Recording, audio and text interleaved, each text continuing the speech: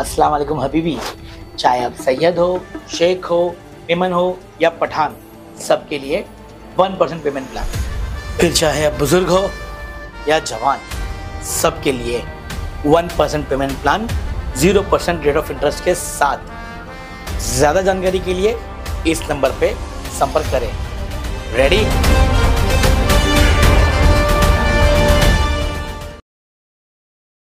WhatsApp में hospital लाया नहीं है व्हाट्सएप पे डाले का एलिगेशन होता है ये लोगों को मिस गाइड किया जाए रहा मुमरा में दिखाने के लिए हम काम करते हैं हम तुम्हारे लिए भागते हैं। ये सब चल रहा है उस पर ध्यान नहीं देने का। तो हॉस्पिटल चालू हुआ है या नहीं हुआ है? हमारे ऊपर कोई हॉस्पिटल के ऊपर कोई इंक्वायरी नहीं है। हम लोग इसीलिए आ जाए बाइट देने के लिए कि आपने व्हाट्सएप को बोला आप आरटीआई डालो आप कोर्ट जाओ आप सब चीज़ करो। लेकिन किस पे एलिगेशन मत करो।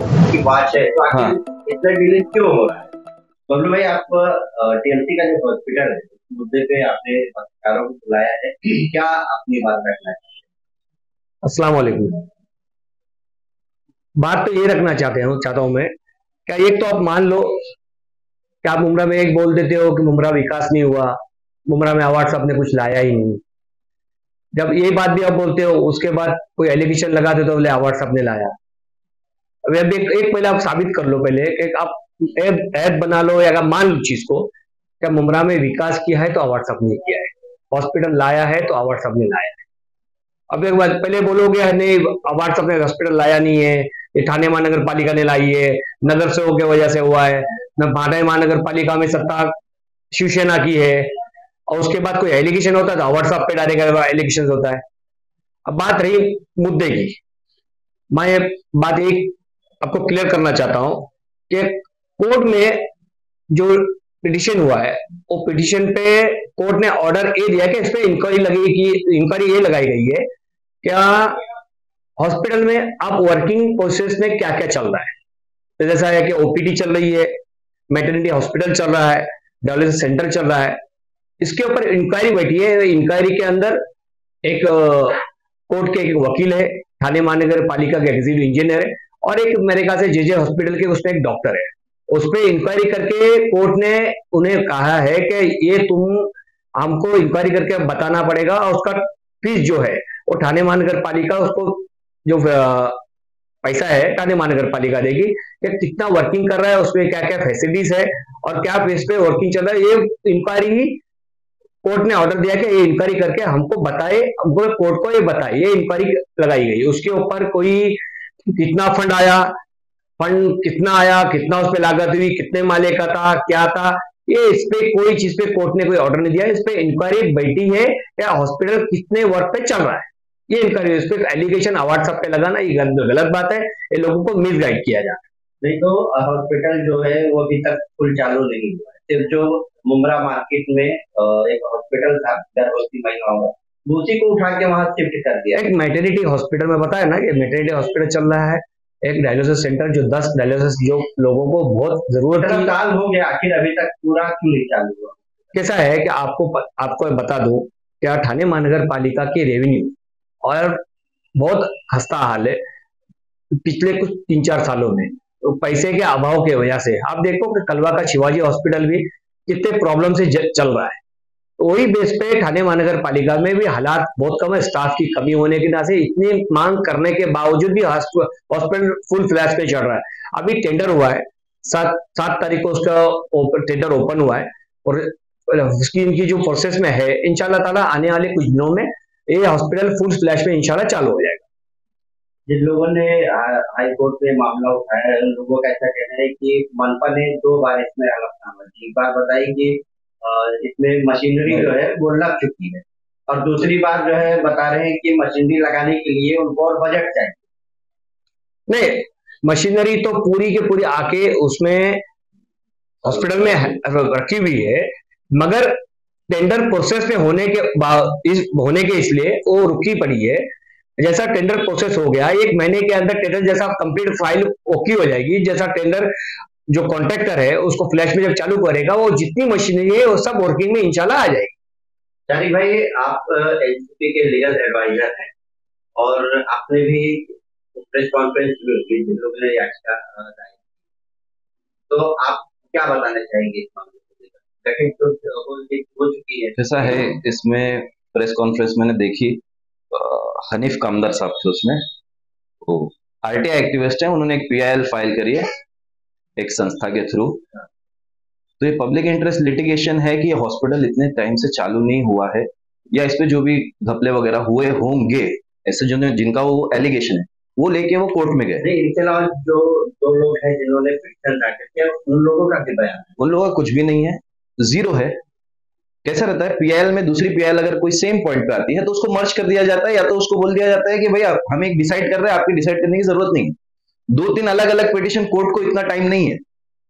तो एक जो पिटिशन परफेक्टली चल रही थी इनकी, उस पर ज़बरदस्ती क्रेडिट लेने के चक्कर में फरत हो गई, फला हो गए, फला हो गई अपना अपना डालने के हिसाब से मुमरा में दिखाने के लिए हम काम करते हैं, हम तुम्हारे लिए भागते हैं। ये सब चलता है, उस पर ध्यान नहीं देने का। पीएल जो इन्होंने फ़ाइल किया है, बहुत ही अच्छा पॉइंट है ये, कि म्यूनसिपल कॉरपोरेशन का हॉस्पिटल अभी तक वर्किंग नहीं हुआ है। तो ये पीएल की वजह से थोड़ा प्रेशर भी पड़ा है और काम अच्छे से हो भी रहा है। और हो गया है, लगभग काम हो गया है। और पीएल में ऐसा है कि एफिडेविट जो टीएमसी ने फ़ाइल किया है कि हमारा हॉस्पिटल वर्किंग है। फुल फ्लेज में नहीं, लेकिन वर्किंग है। जितना हम लोग कर सकते हैं मैक्सिमम लोगों को मेडिकल सपोर्ट देने का, वो टीएमसी कर रही है। लेकिन इसके विपरीत यहाँ पे जो पिटिशनर है, उनका कहना है कि अभी तक हॉस्पिटल चालू नहीं हुआ है। तो हॉस्पिटल चालू हुआ है या नहीं हुआ है, इसके लिए कोर्ट ने कोर्ट कमिश्नर अपॉइंट किया है। हमारे ऊपर कोई हॉस्पिटल के ऊपर कोई इंक्वायरी नहीं है। ये कोर्ट कमिश्नर अपॉइंट किया जाता है कि हलफनामे पे क्या जो दिया गया है दोनों पार्टी द्वारा, इसमें सच क्या है? तो उसकी रिपोर्ट तीन कमेटी की, तीन लोगों की एक कमेटी है। एक उसमें जेजे हॉस्पिटल के डॉक्टर हैं और जैसा कि बबलू भाई ने बताया, लोग हैं, वो लोग आके अपनी रिपोर्ट देंगे और वो आगे प्रोसेस चलेगा। और टीएमसी को सेपरेटली एफिडेविट भी फ़ाइल करने बोला है कि आप ये फुल फ्लेज में हॉस्पिटल कब चालू करेंगे। तो अवार्ड साहब ने फुल डायरेक्शन दे के रखा है लोग को, जल्द से जल्द हॉस्पिटल चालू करो। और जो बबलू भाई स्टार्ट में बोले हैं, वो मैं फिर रिपीट करूँगा कि अगर किसी ने काम नहीं किया है तो आप किस तरह से एलिगेशन लगा सकते हो उस पर कि इसकी वजह से हो रहा है? मैंने प्रेस कॉन्फ्रेंस देखा, आप आरटीआई एक्टिविस्ट है, आपको आरटीआई की बात करनी चाहिए थी, आपको कोर्ट की बात करनी चाहिए थी। हम लोग इसीलिए आ जाए बाइट देने के लिए कि आपने अवार्ड सबको बोले। अब अपना काम कीजिए ना, आप आरटीआई एक्टिविस्ट आप अच्छे से काम कीजिए। जब आप अवार्ड सबको बीच में इन्वॉल्व करेंगे और बोलेंगे काम नहीं किया और बोलेंगे हॉस्पिटल भी उनकी वजह से ही डिले हो रहा है तो इट इज़ नॉट जस्टिफिएबल ये सही बात नहीं है लोगों को गुमराह करना बंद करें। और अवार्ड साहब ने क्या विकास किया सबको मालूम है वो इलेक्शन के टाइम वो लोग बता देते आप फ़िक्र मत जो हलफनामा मनपा का है जी। जो हलफनामे। हम्म। पहले जो मनपा ने दिया था उसमें मनपा ने एक हलफनामा दिया है कि हमने हॉस्पिटल को वर्किंग किया है जितनी उसकी कैपेसिटी हो सकती है। मशीनरी को machinery is are there machinery वहाँ पर है लेकिन फुल फ्लेज में चालू होने की वजह से नहीं डॉक्टर वगैरह सब अपॉइंट करना पड़ता है। दोबारा हलफनामा देना है। दोबारा हलफनामा देना है कि ये आप फुल फ्लेज में कब चालू करेंगे। आप ऑर्डर पढ़िए। मैं आपको ऑर्डर कॉपी सप्लाई करता हूँ आप ऑर्डर पढ़िए। दो हलफनामा है। दूसरा हलफनामा मांगा है। दो हलफनामा एक मशीनरी बताया गया कि हॉस्पिटल में मशीनरी लग चुकी है। हम्म, फिर दूसरा हलफनामा दिए कि जो है इसमें मशीनरी लगाने की हमको ज़रूरत हमें बजट चाहिए।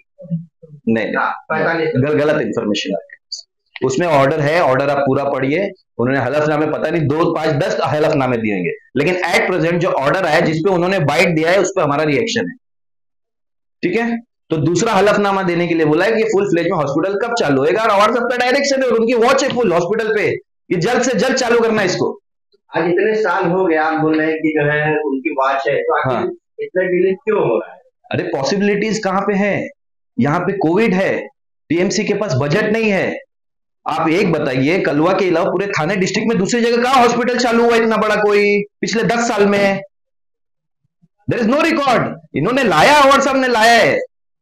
अगर वो नहीं चाहते तो नहीं आता उन्होंने मुमरा के लिए लाया है?